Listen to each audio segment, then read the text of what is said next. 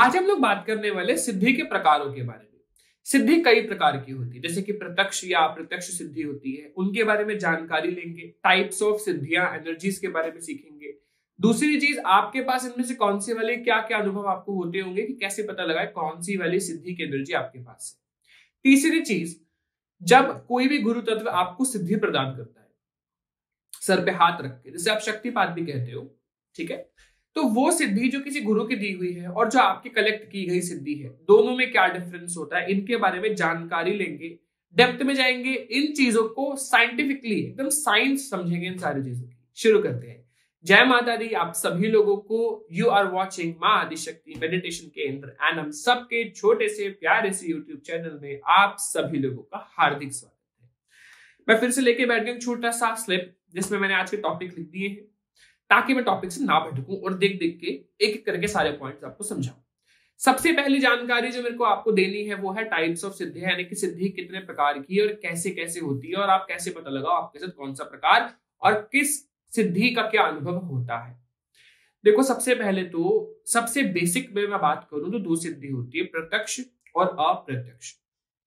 प्रत्यक्ष का मतलब एक ऐसी सिद्धि जिसको आप बहुत ही आसानी से अनुभव कर सकते अगर ये सिद्धि आपके पीछे खड़ी है तो आपको चलते वक्त ऐसा महसूस होना कि कोई मेरे पीछे चल रहा है और कुछ ना कुछ मुझे ज़्यादा अनुभव हो रहे हैं तो वो प्रत्यक्ष सिद्धि के होते हैं। अप्रत्यक्ष सिद्धि कई बार मोस्टली हर इंसान के पास होती है जो भी थोड़ी बहुत पूजा पाठ या जाप करता है। ये कृपा कह लो भगवान की, वो आपको प्रदान करती है। तो दोनों के बारे में जानकारी लेते हैं डिटेल से जानते हैं। देखो, अगर आप एक बिगिनर हो ना, यानी कि अब आप एक बेसिक सी मेडिटेशन आप करते हैं रोज एक माला करते हैं या माला नहीं करते, सिर्फ़ आरती, चालीसा, पूजा, थोड़ा बहुत भाव है, मंदिर जाते हो। तो शुरुआत में भगवान, हम जाप भी शुरू करेंगे तो सबसे पहले अप्रत्यक्ष सिद्धि हमें मिलती है। ऐसी सिद्धि जो आपके आसपास ज़रूर होती है, आपको ज़्यादा महसूस नहीं होती, बट हाँ कहीं ना कहीं लगता है कि हाँ भगवान की कृपा है। वो अप्रत्यक्ष सिद्धि होती है। स्वप्न दर्शन अप्रत्यक्ष सिद्धि के भी होते हैं और वो आपको दर्शन दे सकती है, सुरक्षा आपकी करती है। लेकिन वो ना, थोड़ा सा भगवान की लाइट वोल्टेज है। लाइट वोल्टेज मतलब कम एनर्जी है भगवान की। अगर आप बहुत अच्छे साधना करते हो, बहुत अच्छे साधक हो, भगवान की मंत्र जाप आपने बहुत ज़्यादा किए हैं, आप उनके लिए मन में अटूट श्रद्धा, अटूट भाव है, एकदम समर्पित हो उनके लिए पूरा और जाप करते रहते हो उनके लिए, उनसे प्रेम करते हो बहुत ज़्यादा तो भगवान आपको अप्रत्यक्ष सिद्धि भी देते हैं। अप्रत्यक्ष सिद्धि पावरफुल वोल्टेज वाली, यानी कि हैवी करंट वाली एनर्जी होती है, जो कि आपको बहुत ज़्यादा महसूस करवा सकती है। बॉडी में झटकों का लगना बॉडी में कहीं कहीं पर फड़कन होना बॉडी का वाइब्रेशन मोड में जाना बॉडी का वाइब्रेट करना वाइब्रेशन का महसूस करना, या फिर बॉडी का आगे पीछे होना। ये सारी चीज़ें जो आपको महसूस होती है किसी सिद्धि के कारण, या चलते वक्त ऐसा लगना कि कोई मुझे देख रहा है, कोई तो कोई खड़ा है, कोई ना कोई है, ये नेगेटिविटी के साथ भी होता है बट कई बार सिद्धि जब बहुत पावरफुल होती है तो भी आप उनको बहुत ज़्यादा महसूस कर पाते हैं। ये प्रत्यक्ष सिद्धि होती है। यानी कि ये बहुत पावर के साथ आपके साथ विराजित आपके साथ खड़ी है भगवान की एनर्जी एक फोम के अंदर एक ऊर्जा के अंदर एक, एक स्वरूप लेके खड़ी है। नाउ प्रत्यक्ष और अप्रत्यक्ष में डिफरेंस ये रहता है कि देखो मैंने डिटेल में ना आपको बताया था अंश के बारे में। जैसे किसी रिमोट में चार सेल डलते हैं किसी में दो सेल किसी में पाँच सेल ऐसे ही हर सिद्धि के अंदर अंश होते हैं सेल की तरह अंश।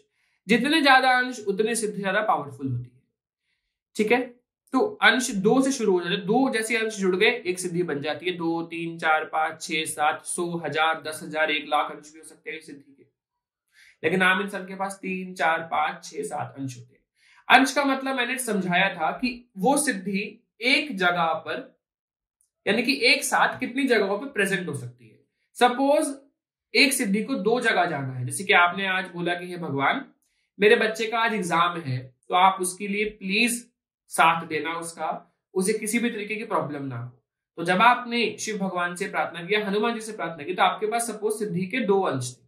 तो एक अंश हनुमान जी ने आपको, आपके साथ ही छोड़ दिया प्रोटेक्शन के लिए, एक अंश वाले हनुमान जी चले गए हमारे, आपके बेटे के साथ।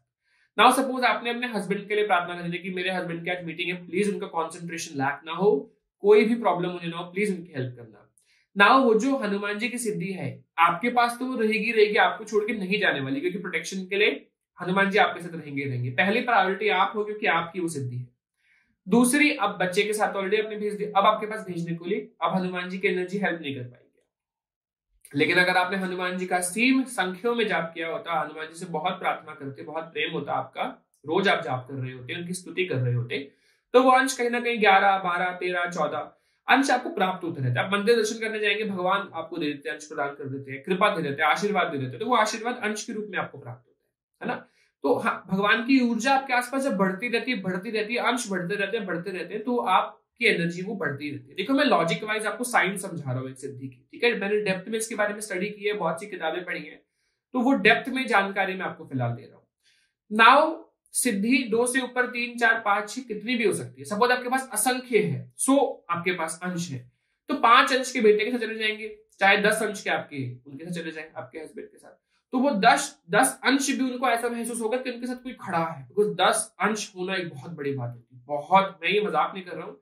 दस अंश का मतलब समझ लीजिए कि किसी साधक ने कम से कम उनकी दो साल तक साधना की है। अच्छे से। कुछ लोगों को भगवान एक महीने में हज़ार अंश भी दे देंगे और देने को भगवान एक साल में दो अंश मिला दे। ये आपके भाव पर निर्भर करता है। आपके भाव पर। मैंने ऐसा भी देखा है कि किसी ने दो, तीन साल तक साधना की लेकिन सिर्फ़ नौ अंश भगवान ने उन्हें प्राप्त करे सिर्फ़ नौ। और मैंने ये भी देखा है किसी ने सिर्फ़ छह महीने तक उपासना की है और माँ ने उनको सौ अंश भी दिए तो ये सिर्फ़ और सिर्फ़ आपके भाव पर, आपकी स्तुति पर। क्या भगवान के लिए कितने प्रेम उनसे करते हो? क्या आप उनके लिए प्रेम में रो सकते हो? कितना प्रेम करते हो? सिर्फ़ और सिर्फ़ इस बात पे चीज़ निर्भर करती है कि भगवान आपको कितनी ऊर्जा या आपको कितनी शक्ति या कितनी भक्ति प्रदान करते हैं। तो ये तो हो गई प्रत्यक्ष और अप्रत्यक्ष के बारे में जो हमने बातें की। अब दूसरा टॉपिक जो मैं लिख के बैठे हूँ सिद्धि ट्रांसफ़र का है है ना? तो मैं रख देता हूँ सामान को ताकि मैं अच्छे से समझा सकूँ आपको। सिद्धि ट्रांसफ़र कई बार आपने देखा होता है कि कई बार ना हम लोग गुरु दीक्षित होते हैं। हम गुरु से दीक्षा लेते हैं। कई बार मंत्रों की दीक्षा लेते हैं। और कई बार हमें गुरु के द्वारा सर पे हाथ रख के कुछ चीज़ें प्रदान की जाती है या की जा सकती है। पुराने जमाने में बहुत होता था, जो बहुत बड़े बड़े गुरु संत होते थे, वो अपनी एनर्जी को सुरक्षा के लिए या किसी और कारण से डेवलप करके देते थे। इसके पीछे का साइंस क्या है और क्या ये सही है या नहीं? मैं आपको छोटा सा एक एग्ज़ाम्पल देके समझाता हूँ साइंस भी समझा देता हूँ। देखो, ध्यान से सुनो। अब गुरु, क्योंकि गुरु है तो उन्होंने कई सालों तक तपस्या की होगी और बहुत सारी शक्ति भगवान की अर्जित की होगी। भगवान की असीम कृपा उन पर रही होगी। तो उनके पास किसी भी सिद्धि के अंश की कमी नहीं होगी। तो गुरु करते क्या है? सपोज़ गुरु जी ने आपको हनुमान जी की कृपा देनी होती है तो हनुमान जी से वो क्या करते हैं? अपनी ही सिद्धि के कुछ अंश कलेक्ट करके, जैसे कि दो अंश की एक सिद्धि बन सकती है दो, चार, पाँच या छह। As a boost as a beginner आपको शुरुआत में किसी भी प्रकार की कोई भी सिद्धि, अंश कलेक्ट करके आपके सर पे हाथ रख के ट्रांसफ़र कर देते हैं आपको। तो वो सिद्धि आपको ट्रांसफ़र हो गई। दो अंश की, चार अंश की, पाँच अंश की, दस अंश की, जितना भी वो देना चाहिए ठीक है?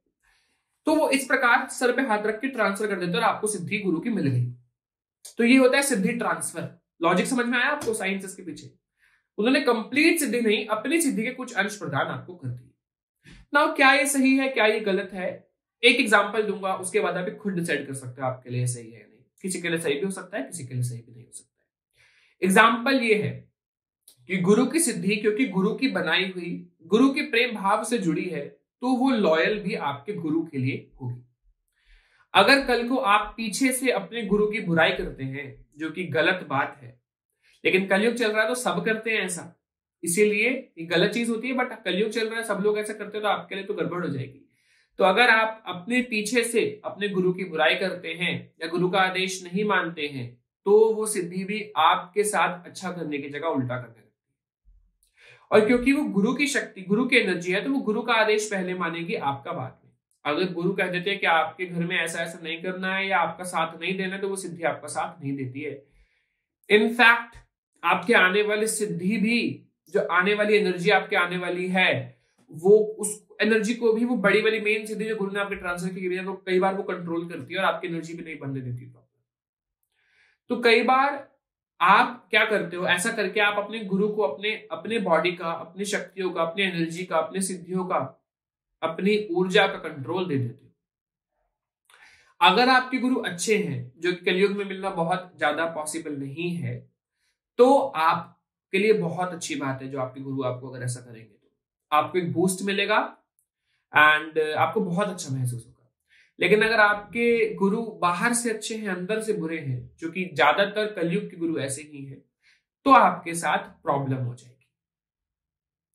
तो आपके साथ प्रॉब्लम हो सकती है एंड आपकी एनर्जी एकदम गड़बड़ और खराब हो सकती है, क्योंकि वो लॉयल आपके गुरु की है, आपकी नहीं बिल्कुल इस बात का आप ध्यान रखें। छोटा सा टॉपिक है, लेकिन मेरी इतनी बात बोलने से आपको साइंस और लॉजिक समझ में आ गया होगा और आप समझ गए होंगे कि यस ऐसा ऐसा ऐसा ऐसा मेरे साथ हुआ है और ऐसा ऐसा मेरे साथ गड़बड़ है। ना प्रत्यक्ष, अप्रत्यक्ष समझ में आ गया। अनुभव भी बता दिए मैंने प्रॉपर तरीके से क्या अनुभव होंगे, कैसे होंगे, कैसे नहीं होंगे।